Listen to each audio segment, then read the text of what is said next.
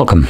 In front of me is an Honor Pad 9 and today I will show you a couple tweaks and the tricks you can do on this device. So let's get started by opening up settings and in here we can navigate to home screen and wallpaper and we can start off with the home screen style. So by default it is going to have standard selected uh, but personally I prefer the drawer mode as it is much cleaner and it gives me access to all my applications in a well, neatly alphabetical order right here along with suggested applications which cycle through like the most recently used apps along with the little slider right here for the uh, basically letters of alphabet to quickly point you to a specific letter and obviously application of that name. Anyway, going back into the settings, next thing we have is display and the brightness and here we have a couple different things like light and dark mode which I believe you might be able to change throughout the setup process of the device but in here we have actual ad additional setting which is the auto switch. Once enabled it gives you two options either sunset to sunrise option so from sunset to sunrise or on a custom timer so this will then cycle through uh, both of these modes light and dark based on time of day or on a custom schedule. Moving a little bit further down, we have additional options for like ebook mode, which just kind of enables dark mode, or uh, not dark mode, but like black and white. There we go. Or more like gray and white. Um, further down, we have display size. This might be a handy option for people that are maybe just a bit more visually impaired, so you can increase the size of the text right here. I do personally like it at the default size it seems to be the best one, but you can obviously kind of go overboard with this one and make it just chunky.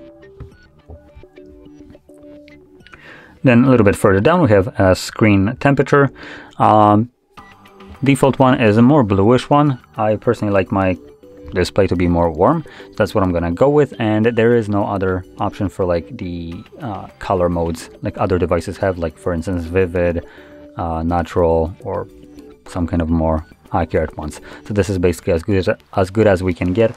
And I do like the more warm tones of the display, so that's what I'm gonna select. On this device, it's not like super warm like some other devices where they do have the option for color modes and also the temperature modes. Uh, so this is more catering towards like the color modes. The warm one is just a little bit more toned down. You can also do it yourself uh, with a custom one. Just kind of slide this around and choose whatever color you want to be kind of dominant. Scrolling further down, we have uh, refresh rates. Now this device does support 120 Hz refresh rate, uh, which you can enable right here.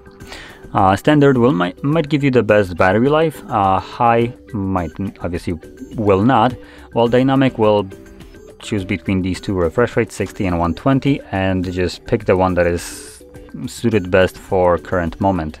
So as of right now, this display is most likely running at 60 frames just because there's nothing moving on the screen. And because of that, it's going to consume a little bit less battery life compared to if you had high set by default, it would always be running at 120 even when there is nothing, uh, no content that could benefit from that. Now last thing we have here is the video enhancer and this just kind of tries to enhance the video by adding a little bit more saturation to it, contrast and all that stuff. Right now I only have one application that can support this which is YouTube. You can enable this and see if you like it or not uh, but be mindful this will consume more battery when being enabled if I remember correctly and uh, obviously won't be supported by every application so it might be a little bit of a hit or miss. Now, last thing is the status bar, status bar, but this uh, bar right here, which can swipe on the bar right here. And I believe we should have access to it somehow, or not. Because we can access it in in applications, so that's a bit of a yeah. I don't think there's a way to actually access it, uh, but you can customize this, uh, drag applications into here and shrink it. And just gonna, this side right here on the right side, it shows you, I believe, the foremost uh, frequently, used, or not frequently, but last apps that you have used. Uh, and you can obviously just kind of shrink it.